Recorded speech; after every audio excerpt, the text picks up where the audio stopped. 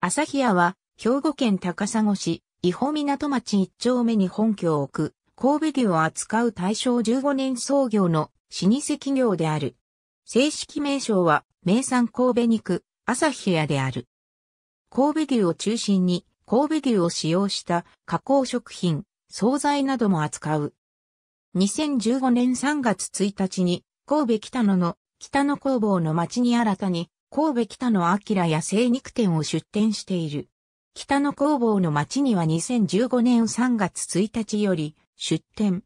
老舗の神戸牛専門店として、経営者自らが牧場を回り、生育環境をチェックした上、使用する牛を選択。神戸肉とも、ストム会チャンピオン牛をはじめとする牛を競売で落札し、精肉し直販する。運営店舗としてミートデリカ朝日屋を高砂に置くが、近年は通信販売に注力しており、多くのショッピングサイトを運営している。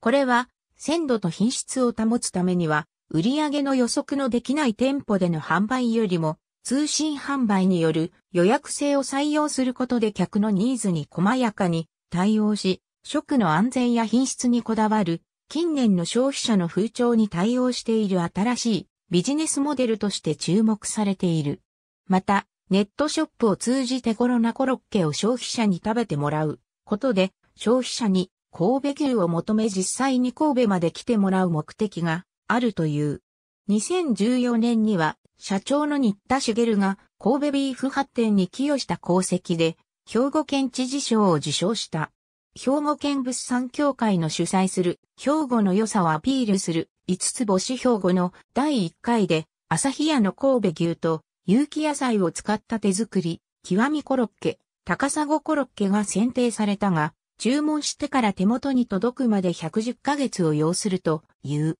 販売商品が神戸セレクションのモニター投票で4年連続1位を獲得。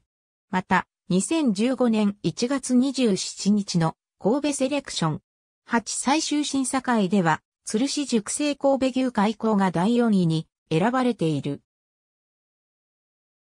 本店ミートデリカ朝日屋、神戸北の明屋精肉店、ABCDEFGHI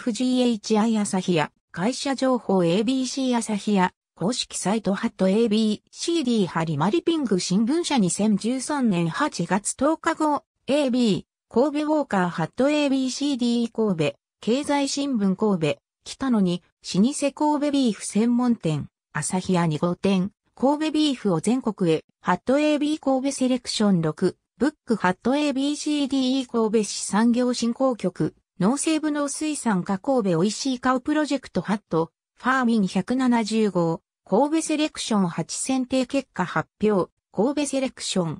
8審査会の市民審査員の公募、ダイム2012年1月8日号 ABC、お取り寄せうまいモンタイゼン、中英社2010年10月13日発行、増刊本当にあった、ここだけの話、週刊女性2012年5月22日号、朝日屋公式サイト朝日屋公式サイト朝日屋公式サイト、ミルズ2002年2月1日号、クレア2010年12月1日。ありがとうございます。